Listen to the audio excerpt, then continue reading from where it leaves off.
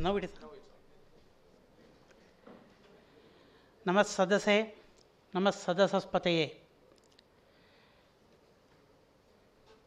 I am once again thanking the organizers for asking me to address this august audience.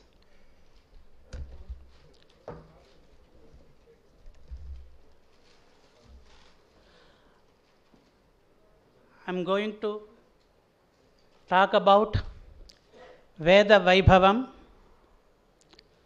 that is, glory of Vedas.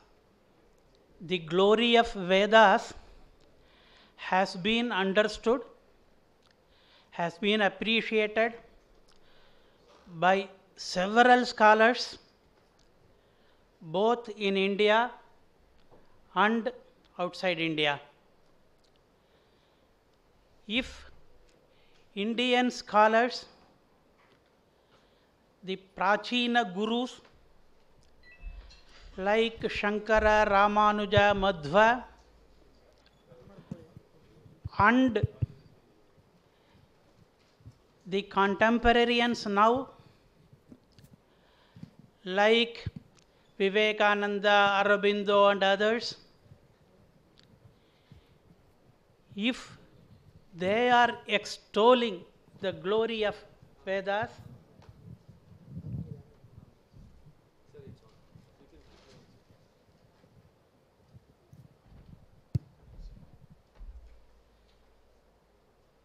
then it is not at all surprising for us.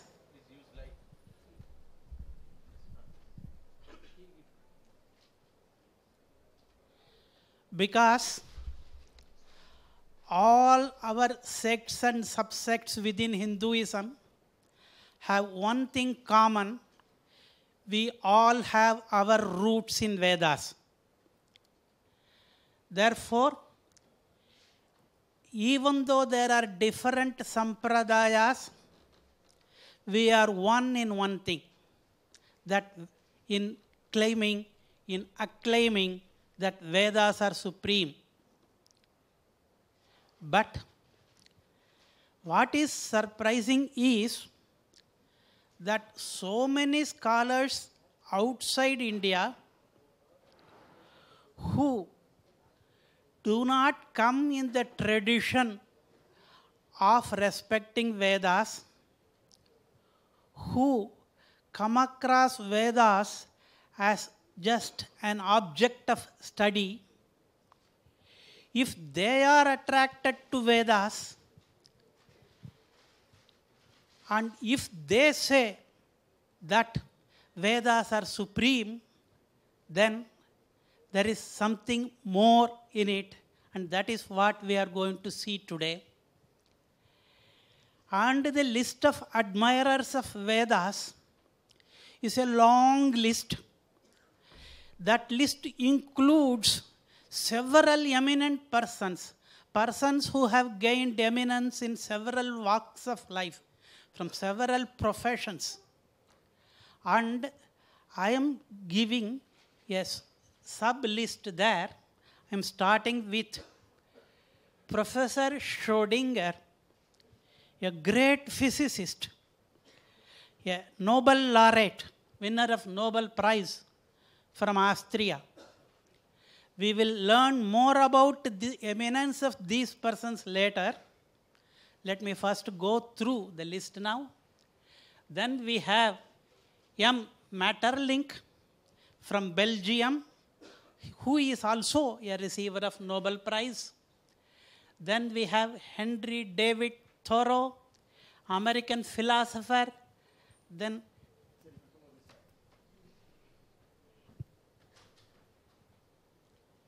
we have Jean Lee Mime, a French author, Arthur Schopenhauer, a German philosopher, R.W. Emerson, an American poet, Dr. Annie Besant, a woman speaker, Will Durant, an American historian, Alfred North Whitehead, a British mathematician, F. Max Muller, a German philologist, Louis F. Jacolliot, a French official, Rudolf Steiner, an Austrian architect, Herman Melville, an American novelist, Ella Wheeler Wilcox, an American woman poet, Paul William Roberts, a Canadian television producer, David Frawley, an American writer, Dara Shikoh,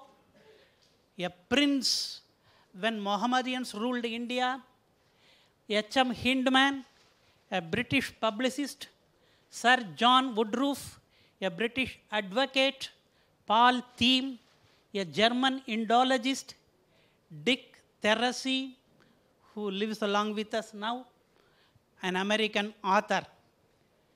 What do they say about Vedas? We are going to see many excerpts from different books, but I have collected some important words mentioned by them about Vedas. They say that Vedas are most ancient, they are unparalleled in literature, Vedas are sublime, vast, pure, lofty, divine, primitive, thoroughly scientific, wonderful, eternal, unfathomable, unbroken chain, astonishing, majestic, august, sacred, terrible, full of solemn anguish, condensed wit, God revealed, most advanced, essential, immortal, and invaluable treasure. This is what those foreigners are saying about Vedas. Next.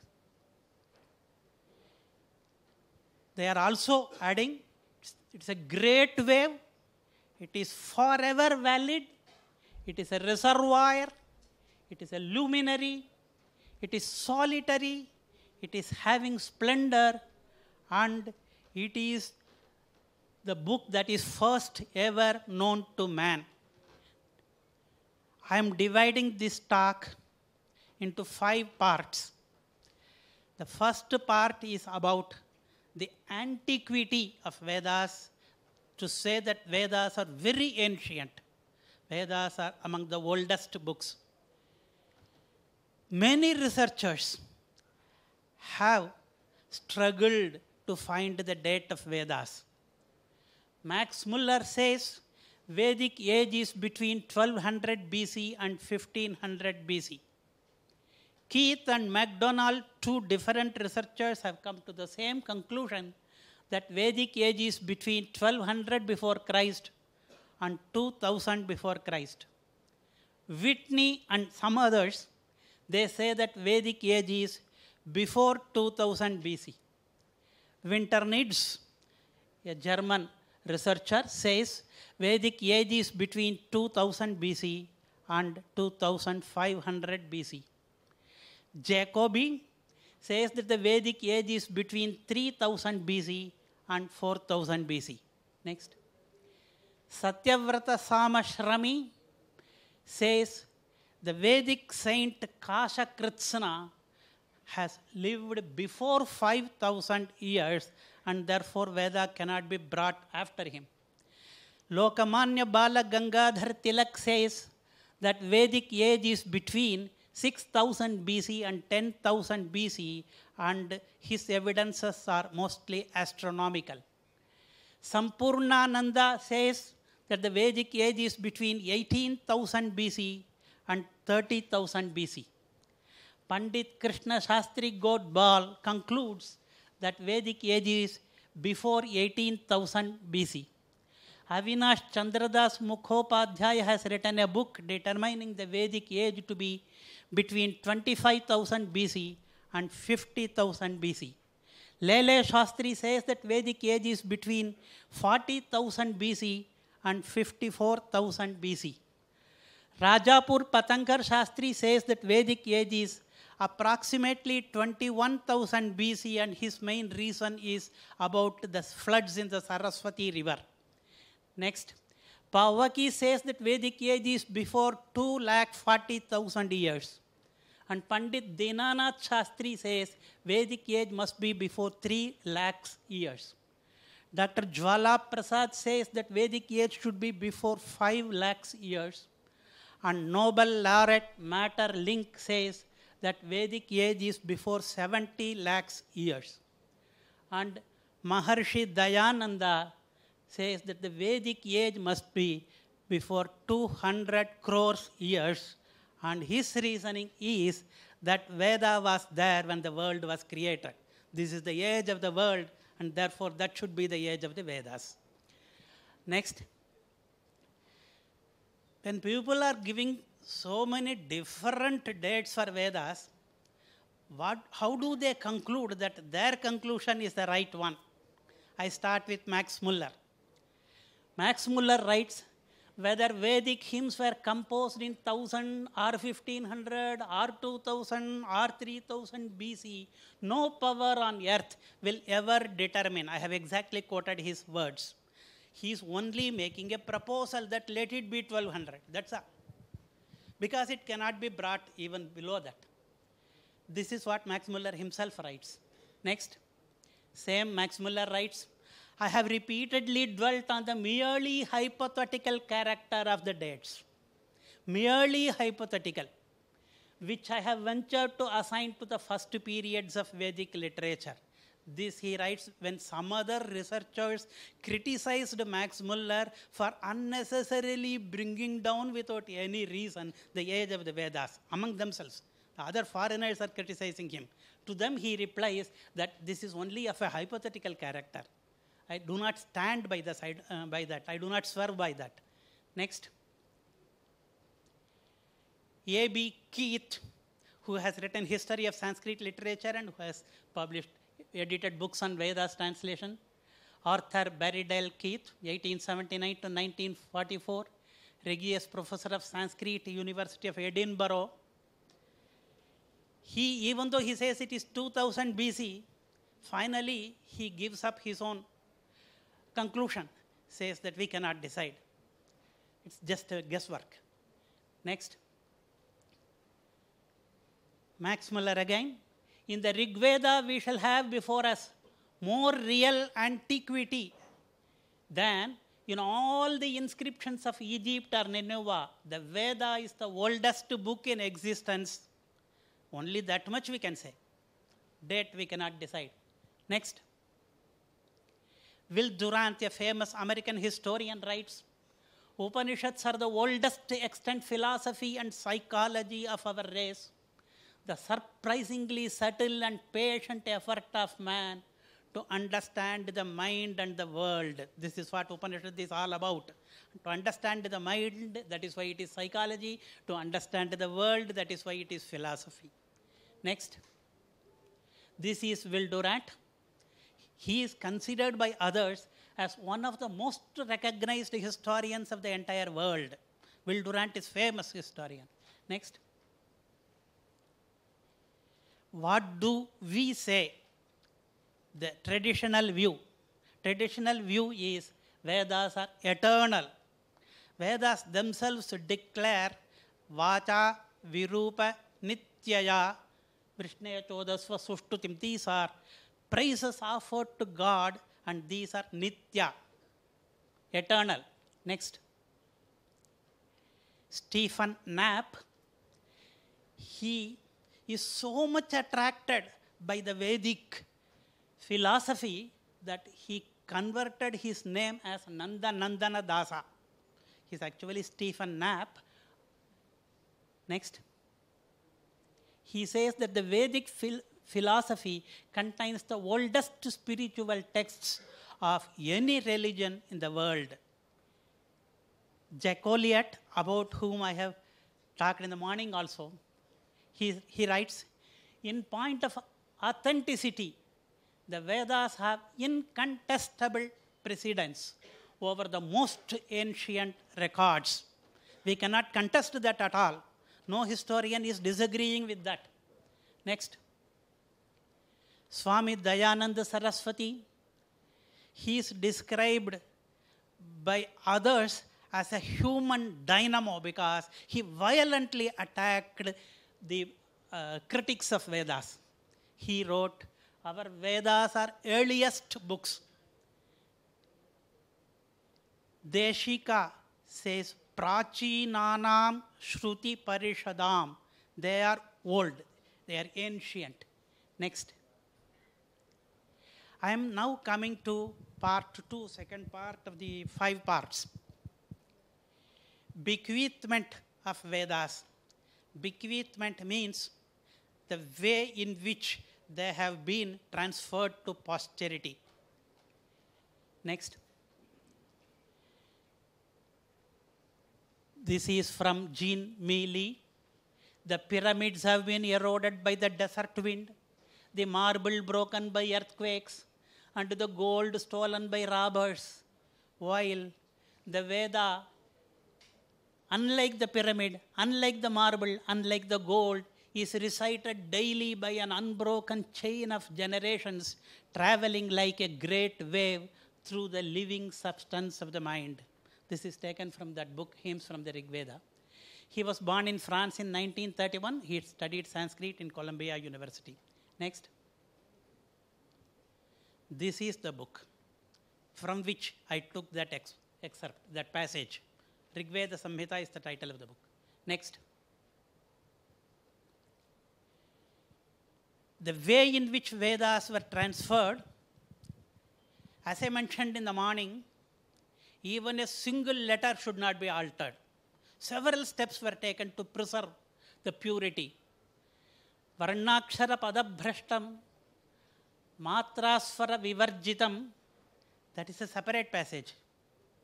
Another, अवक्षरम अनायुष्यम विस्वरम व्याधिपीडितम this is the passage given in given by Panini in his Shiksha grantha therefore even one varna or akshara or pada is bhrashtam then it is a sin that we have committed we have to do some prayashchitta for that and prayashchitta are also prescribed even a matra even a swara should not be omitted next Next, please.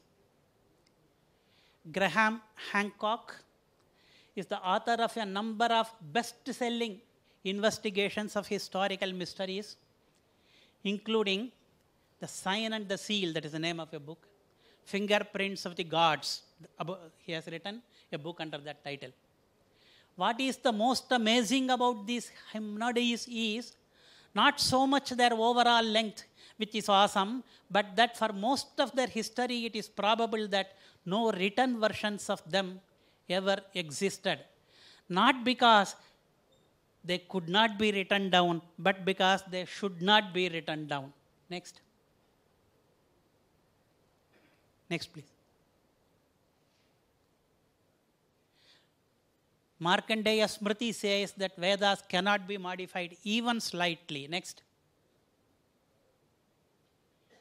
Vedas should not be written, says Mahabharata. Next.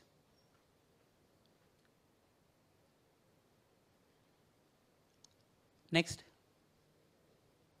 Next. Next.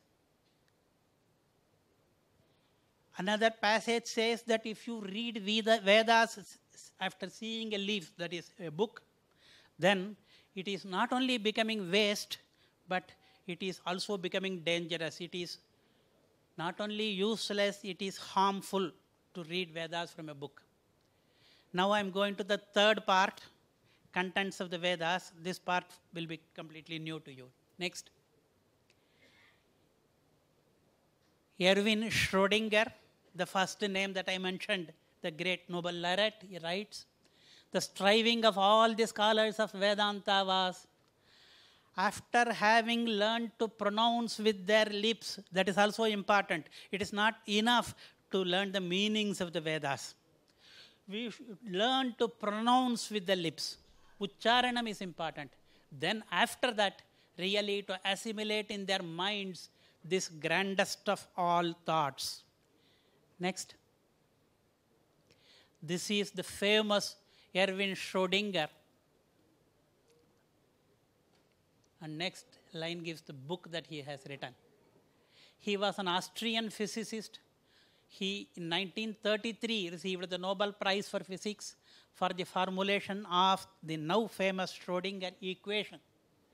He also received Max Planck Medal and there is an Erwin Schrodinger Prize in the Austrian Academy of Sciences.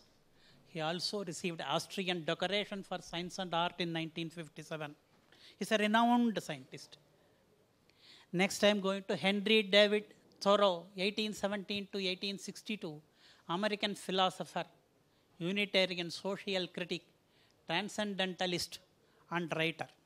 Next, he writes, What extracts from the Vedas I have read fall on me like the light of a higher and purer luminary, Jyotis, Tejas, which describes a loftier course through purer stratum. It rises on me like the full moon after the stars have come out, wading through some far stratum in the sky.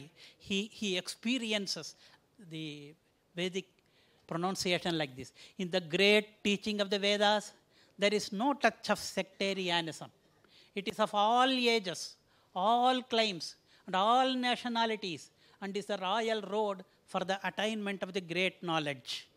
Next. The veneration, that is the respect, in which Vedas are held, is itself a remarkable feat. People are not worshipping books except the book of Vedas. Next. Friedrich Max Muller, German philologist, 1823 to 1900. Next. I maintain that for everybody who cares for himself, or cares for his ancestors, or who cares for his history, or who cares for his own intellectual development, for every such person, a study of Vedic literature is indispensable. You cannot do without it. You have to study Vedic literature if you care for intellect. Jacques he worked as a government official in French India. Next. The Hindu revelation which proclaims the slow and gradual formation of worlds, that is step by step evolution, is of all revelations the only one whose ideas are in complete harmony with modern science. No other old books are in harmony with modern science. Next. Herman Melville, 1819 to 1891, he was a great American novelist. Next. He writes, Vedas are mystical books whose perusal would seem to have been indispensable to Vishnu before beginning the creation. Vishnu used Vedas for the creation itself, and which therefore must have contained something in the shape of practical hints to young architects. It looks like a book of manuals how to create the universe. Vishnu has to refer to Vedas. Next. Paul William Roberts. He is a was a lecturer in Oxford University. He is an award winning television writer and producer in Canada. Next. He says the Vedas hold enough information to rebuild human civilization from scratch if necessary.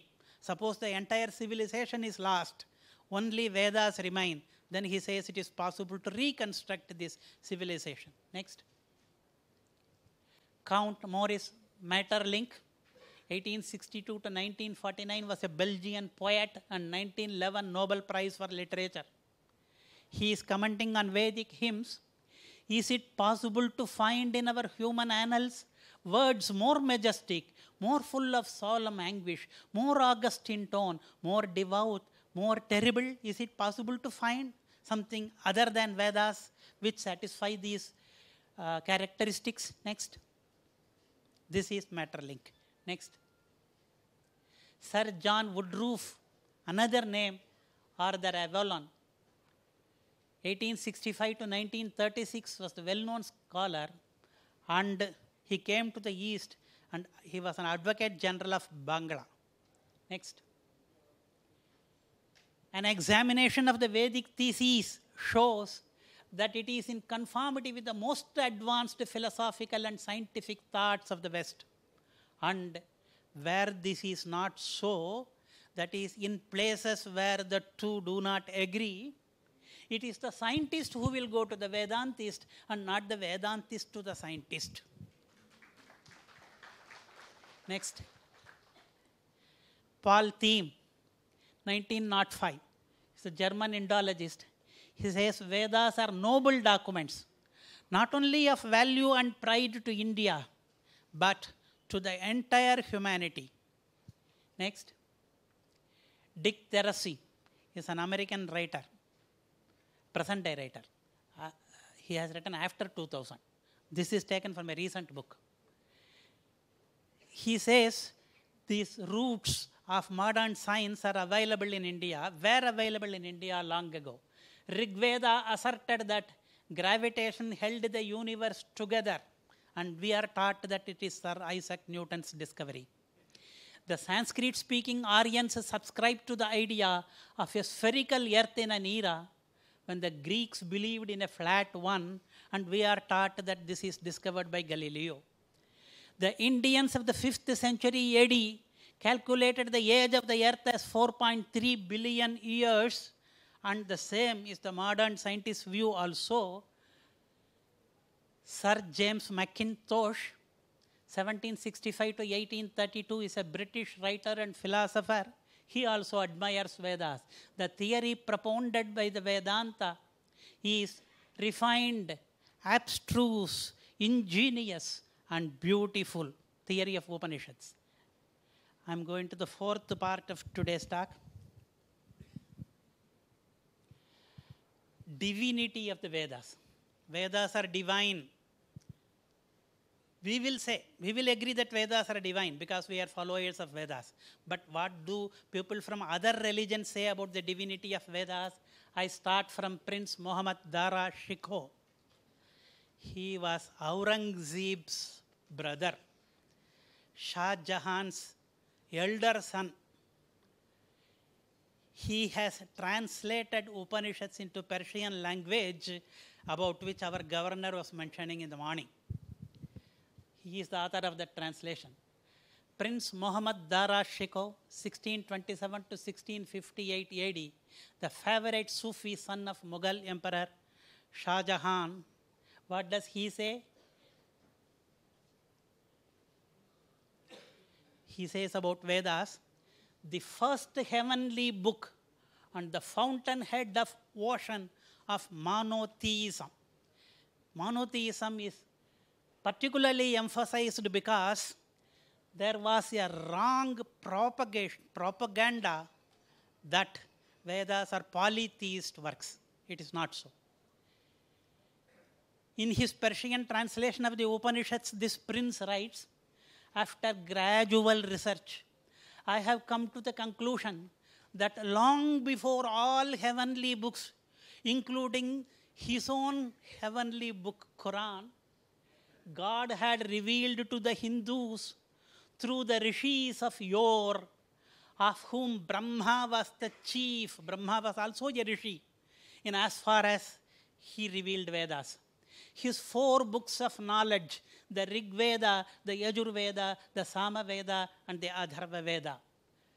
God had revealed these four books. That is what that prince writes before going to the next.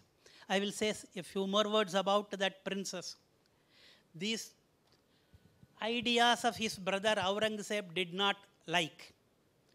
Aurangzeb developed hatred towards his own brother.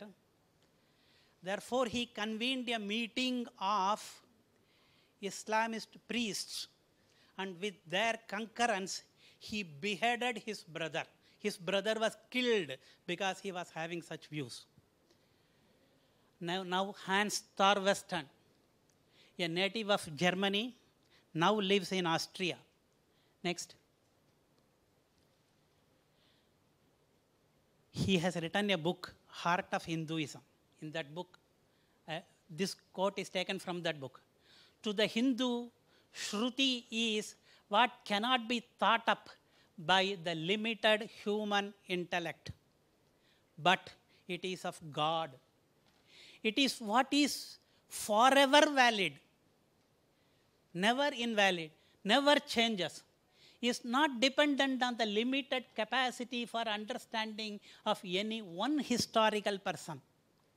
The Hindu, for this reason, is proud not to need a historical founder.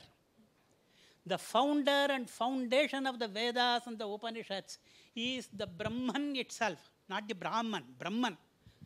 Supreme Soul is what is indestructible and timeless. God is the founder of this religion. Next.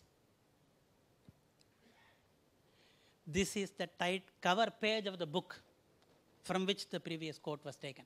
Next. We believe that Veda is not different from God.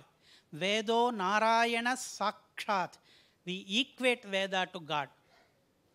Next. I'm going to the last part, the fifth part of this talk. There are hidden meanings in the Vedas. Next.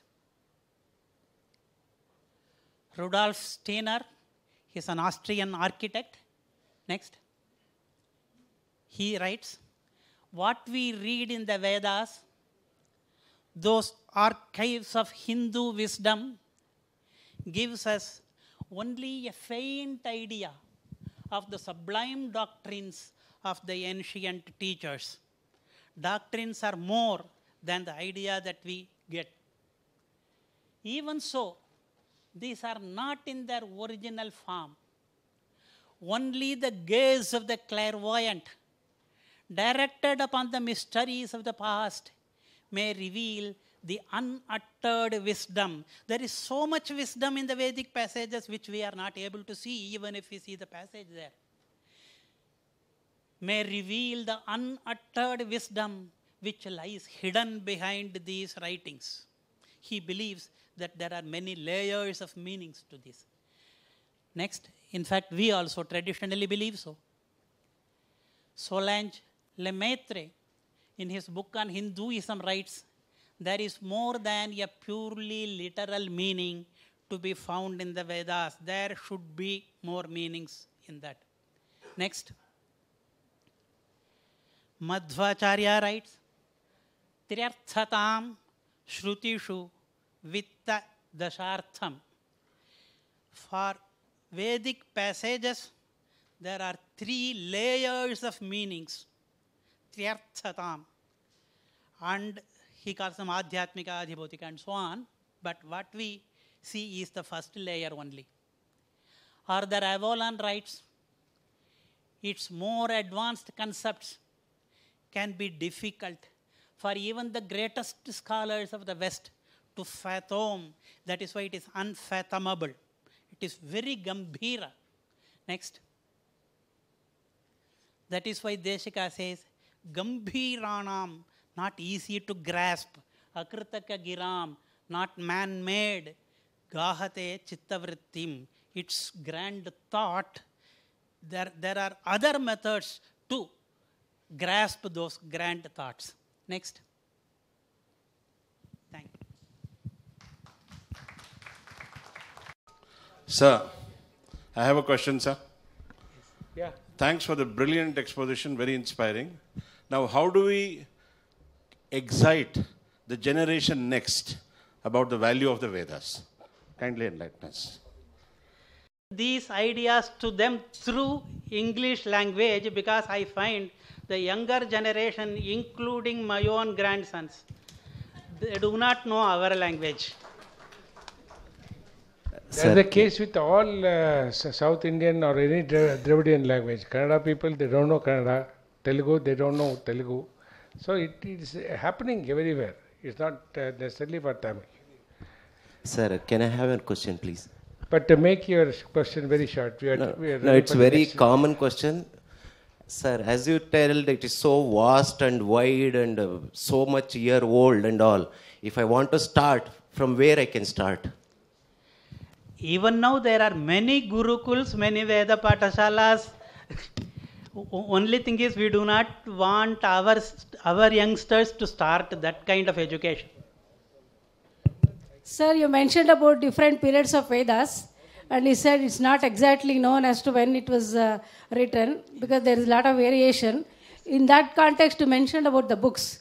May I know what actually is that uh, book? I, I took extracts from many books, one from Max Muller, one from Keith, one from Macdonell, and one more which I have not shown here is from Kaegi and Wilson. Every one of them will give an age of Vedas, will make a proposal. At the end, they say it is only a Hashyam, conjecture.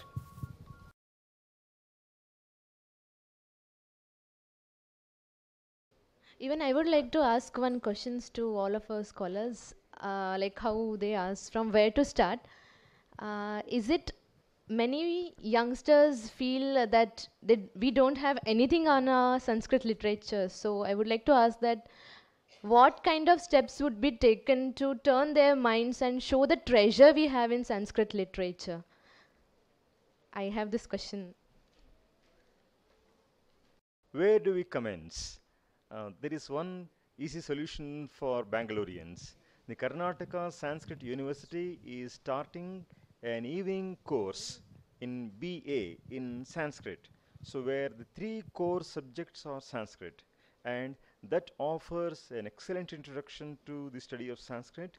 And the qualification that is required is only your second, second year pre university. And if you have some knowledge of Sanskrit in addition, it's welcome. Even otherwise, we start from the beginning and the course is from the classes are from 5 to 8 in the evening. So Bangaloreans can make use of this opportunity. Those who are retired, those who are employed and can find time in the uh, evening hours, they are most welcome. You can uh, visit the website of Karnataka Sanskrit University and go to the evening college uh, in that um, uh, website. You will get all the details. So there you make a start with learning Sanskrit and that can lead you to the Vedas. Thank you very much.